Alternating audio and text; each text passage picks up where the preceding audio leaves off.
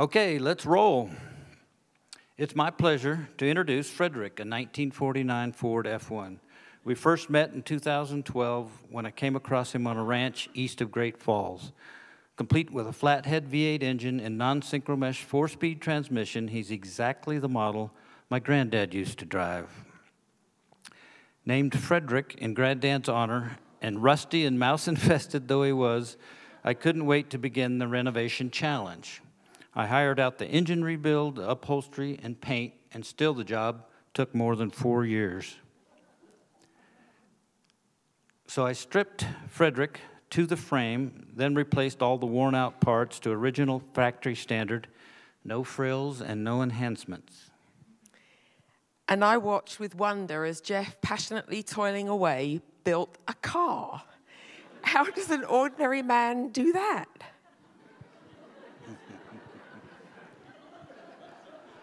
Once roadworthy, we regularly drove to town, encouraging interested people to experience Frederick hands on. And the hankering for a long test drive grew and grew. Route 66, coast to coast, our imagination soared until we settled on a circular tour within Montana. Our goal was to test our simple vehicle on a prolonged mixed terrain journey, to live plainly, listen mindfully, and observe thoroughly. Our concerns would Frederick remain mechanically sound? Could we tolerate the pace and noise of the 1949 ride? We prioritized our gear to fit Frederick's limited cargo space, then drafted a rough directional plan from unique destinations as recommended by friends, but set no itinerary. So in September 2019, the Red Truck road trip began. En route, Frederick developed a real personality, drawing big waves and wide grins, and as in Bonner here with this 2019 Ford, he was photographed by everyone. In Frederick's presence, strangers overlooked our differences, and as one observer put it, a baby will unite people unconditionally, and that truck will too. We experience kindness everywhere and a strong sense of community, meeting people of diverse lifestyles and fortunes. Their stories, awakened by Frederick, reflected familiar hopes and fears. With a mutual willingness to listen and understand, we were shown wounds, both figurative and fleshy. Yet together we laughed.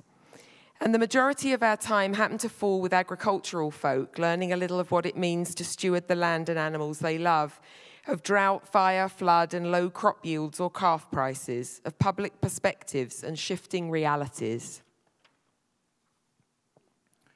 The September weather was unexpectedly cold and wet. Frederick soon forgot his heated garage on inclement days experiments, experience.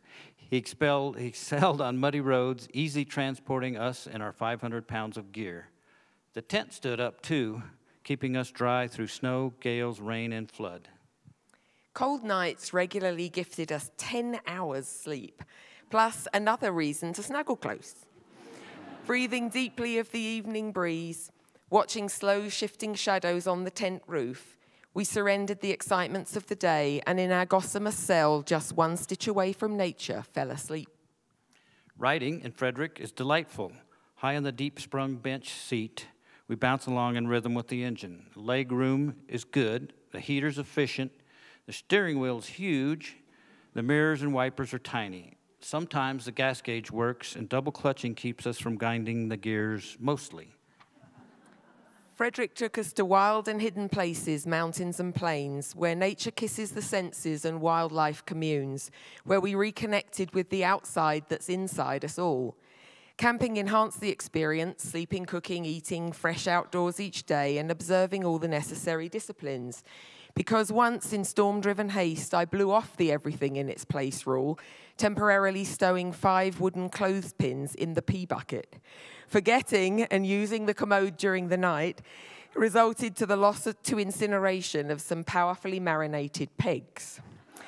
Our days were varied and stimulating at once natural phenomena contrasting with man's technological achievement from agriculture to mines. And at historic places like the Big Hole battlefield, we heard from the living and the dead. and we stood in awe of an incredible capacity for human endurance. Meanwhile, looking for new experiences, here in Glasgow, Jeff went for his first straight razor shave. The lady barber did a fine job and he emerged totally relaxed in a cloud of very strong cologne. We don't know whether either condition factored, but once back behind the wheel, Frederick wouldn't start. This, the only mechanical issue of the entire trip, had happened a couple of times previously, sometimes involving the wipers shutting off in the upright position. This time, the problem seemed more permanent, but a bump start sufficed, and I didn't have to pull the starter in a rainstorm. Serene as we were here in the Bear Paws, it was hard to conceive of the historic snowstorm that was forecast.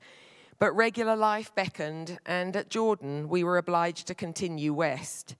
The decision to end the trip in two days' time just about broke our hearts. So, Frederick carried us for 22 days, 2,000 miles through 28 counties. We never went on the interstate, averaging 12 miles per gallon at 55 miles per hour. His performance was exemplary. Incidentally, I solved Frederick's non-starting problem in Lewistown by changing the starter solenoid. We visited but a portion of Montana, yet we were privileged to sit amongst her splendor and appreciate our neighbors. We returned revitalized, peaceful, and optimistic, hearts swollen with love for Frederick and each other. And in the words of one longtime rancher, well, well now, ain't, ain't, that, that something? something?